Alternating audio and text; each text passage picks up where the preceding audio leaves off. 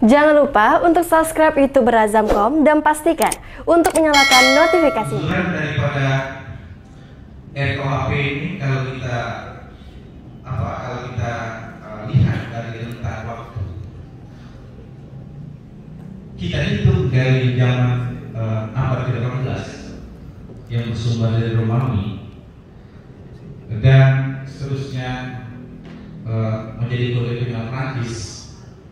serta setelah itu menjadi kopian WPS Belanda setelah uh, Belanda dijajah oleh Prancis selama tiga setengah tahun ya. itu besar pengaruhnya terus setelah Belanda menjajah ke Indonesia 1919 sehingga kita memakai WPS tersebut dan dengan setelah kita merdeka tahun 1945 maka mau tidak mau dalam rangka untuk mengisi kekosongan hukum dalam hal itu yang dibicarakan hukum pidana materi.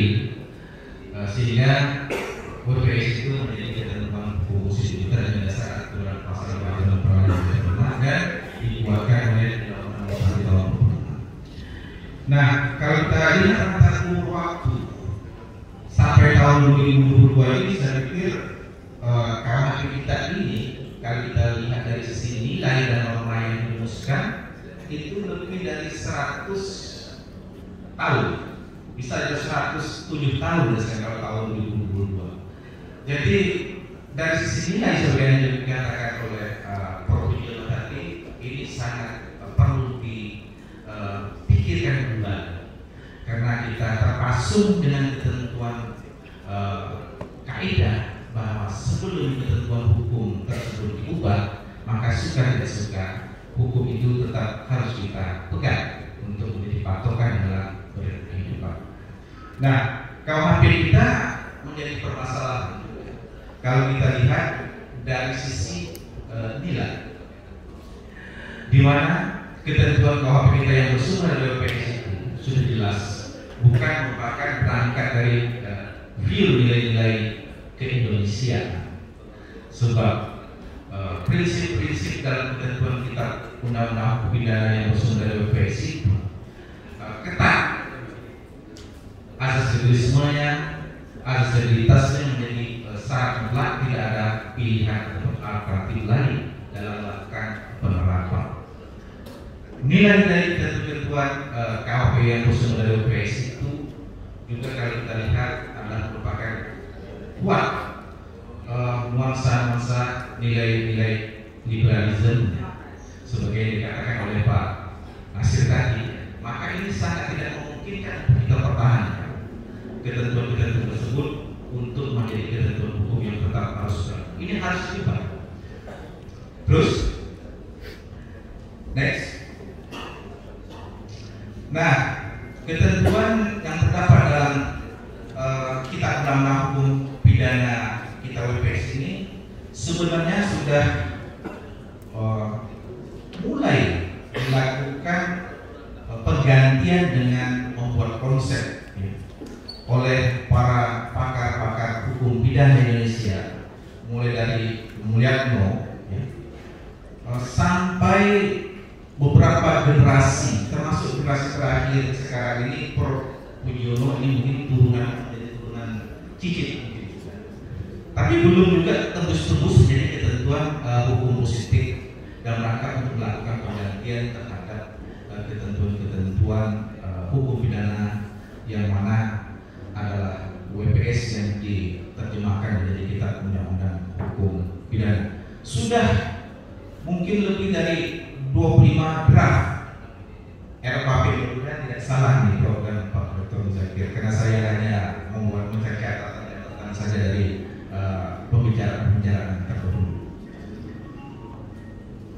Kalau kita itu sudah 62 tahun lebih ya, perjuangan RKUHP ini tidak tembus-tembus.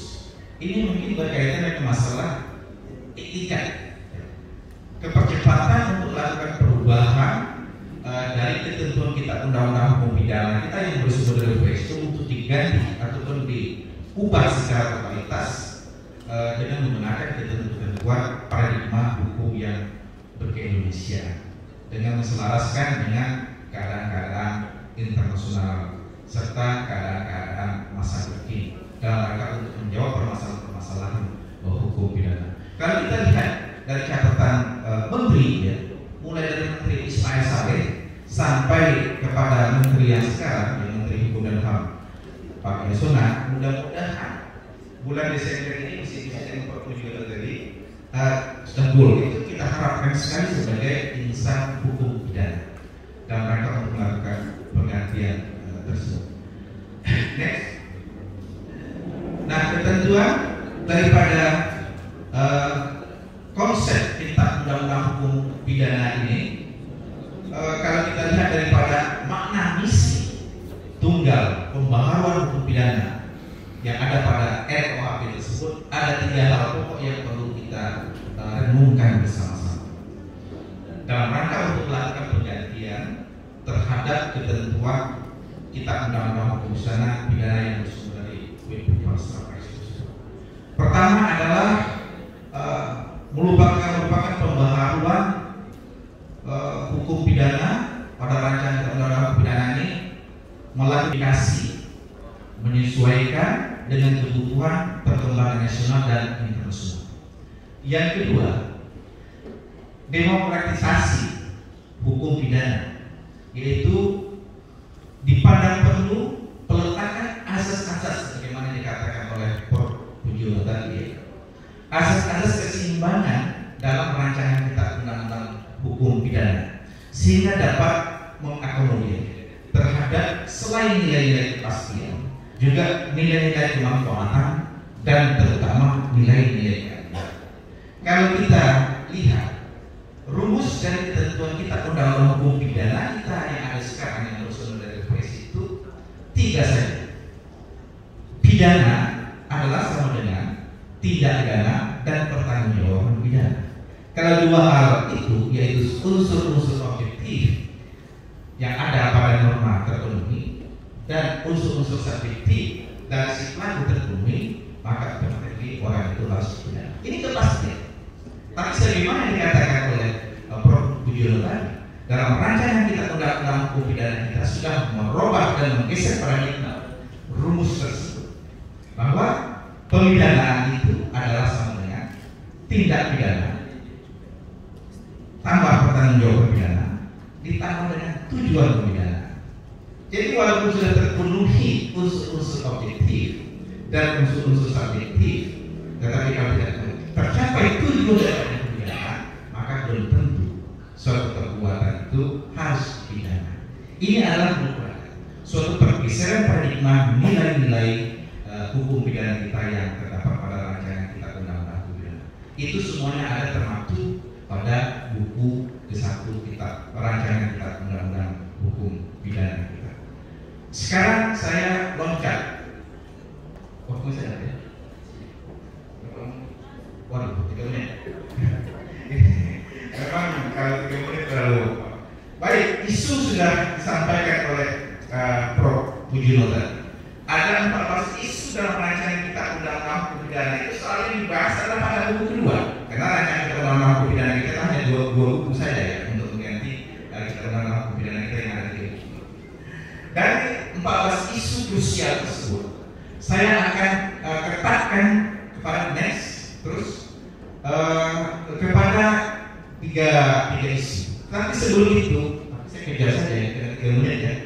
Tarik terus, next.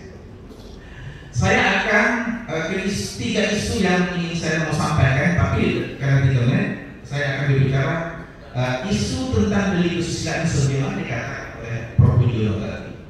Yaitu yang sentral uh, dibicarakan mungkin sudah clear ya di, di DPR ataupun di pihak pemerintah. Masalah persinahan dengan kohabitasi.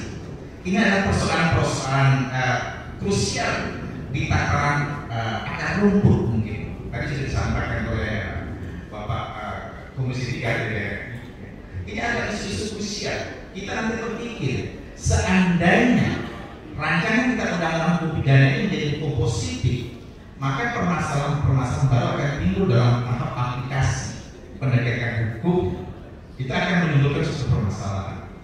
Uh, sebagaimana kita ketahui bahwa uh, rancangan kita undang-undang hukum merupakan eh, ketentuan hukum yang berprinsip kepada eh, azas-azas monodualisme ya, untuk menggantikan prinsip-prinsip yang terdapat pada WPS yang berangkat dari asas individualisme dan liberalisme ya, maka asas keseimbangan sebagaimana dikatakan oleh Prof. Tadi itu sudah tentu harus didudukkan pada buku pertama sebagai induk hukum pidana dalam rangka untuk dapat dioperasionalisasikan kepada ketentuan buku kedua pada rancangan kita undang-undang pidana dan ketentuan undang-undang hukum pidana serta undang-undang administrasi dan sanksi pidana di luar kita undang-undang hukum pidana nantinya. Saya minta waktu sedikit. Uh, terus baik.